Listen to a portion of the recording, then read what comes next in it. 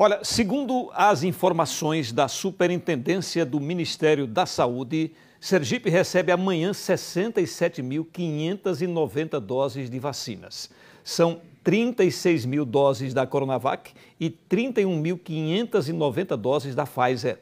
Os imunizantes devem chegar em dois voos, um às 12h20 e outro às 2 horas e meia da tarde.